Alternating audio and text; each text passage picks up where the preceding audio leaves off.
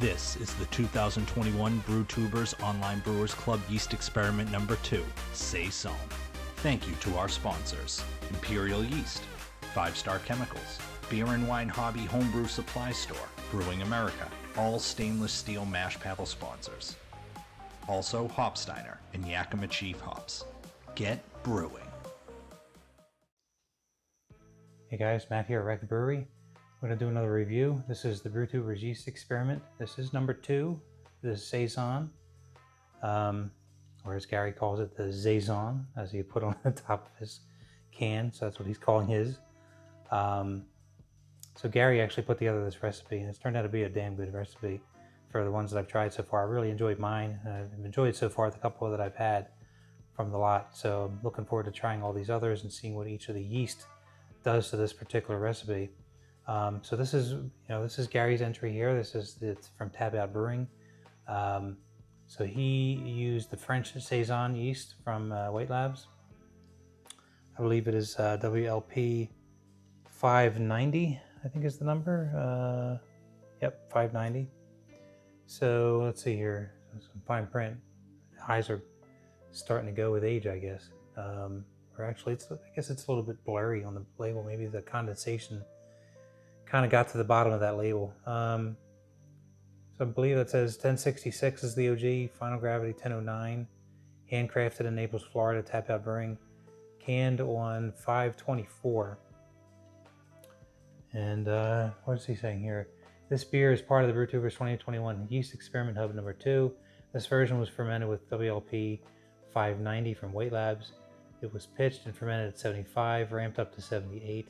It was brewed on April the 10th, fermented for 14 days, kegged on the 29th of April, and carbonated at 10 psi.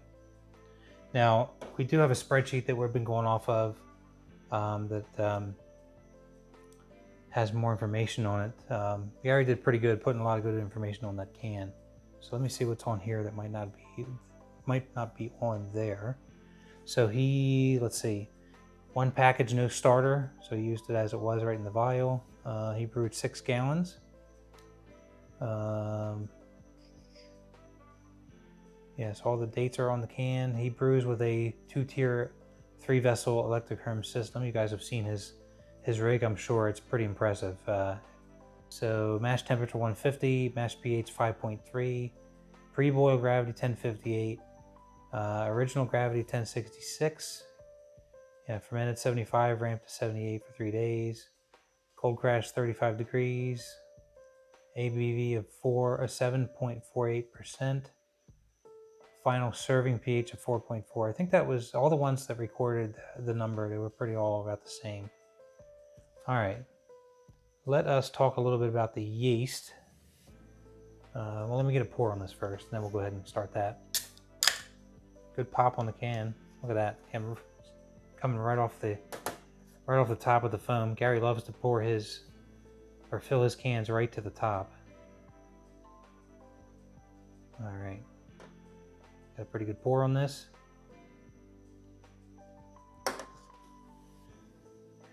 Yeah, it's about the same color as mine, I think. It's a nice sort of uh, medium straw color, copperish color to it. It's pretty clear. You can see through it. What's interesting about these muffin top glasses, a shout out to Brewing America, one of our sponsors.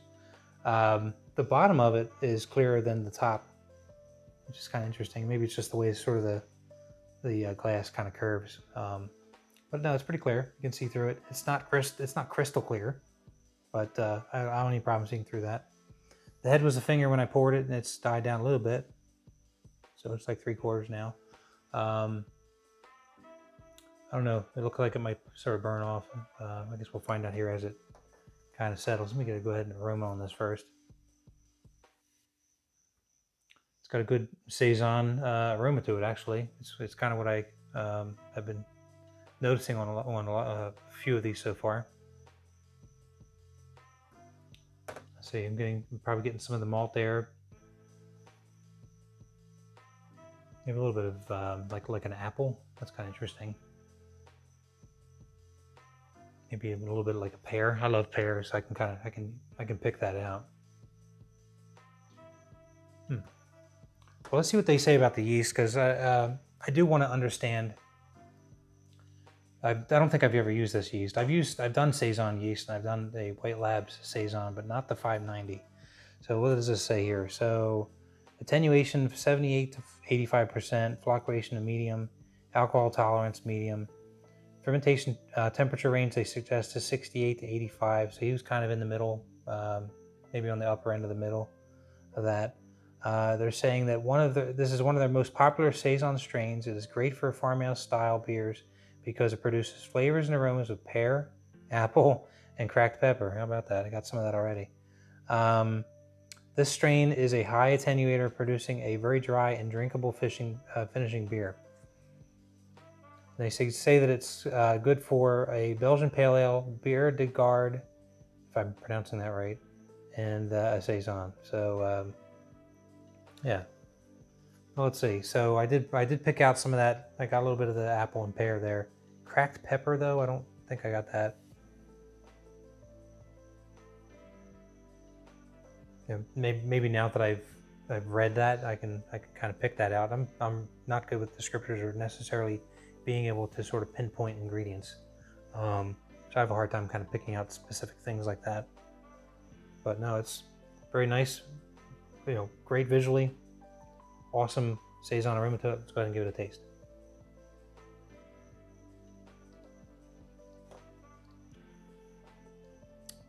Ooh, yeah, there's that pepper.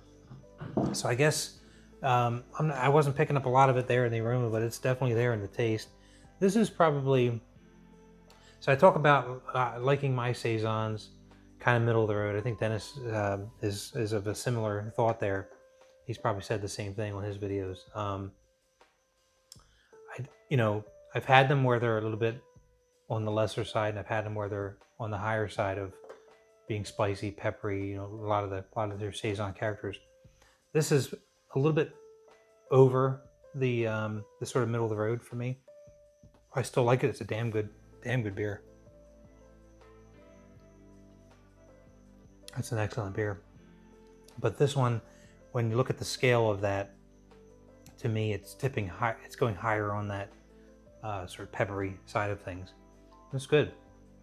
It's really nice. Still, it's still well within that nice, nice saison range that I, that I like to drink. I've had, you know, I've had a, a number of them. This, um, it's really interesting how these yeast can kind of, you know, change. I mean, they've all so far. I've had, I think this is my third or fourth one now. Um, they've all tasted like a saison. They've all tasted, you know, what, what I kind of expected to taste, but they've all kind of had like, almost like a, uh, you know, like that volume knob that kind of turn up the saison, you know, and this one's a little bit, a little bit turned up than the other ones. Can't think of a better way to describe it. Um, but no, it's nice. Gary, thank you for for uh, putting together this recipe for all of us. This has been so far a really fun experiment. getting to learn a little bit more about some of these yeasts, and um, and surprising myself now, starting to pick out descriptors that I'm now you know soon after reading. So that's cool. Um, but yeah, um, shout out to our sponsors. I'm going to end with this. Um, I've already mentioned the, the Muffin Top guys.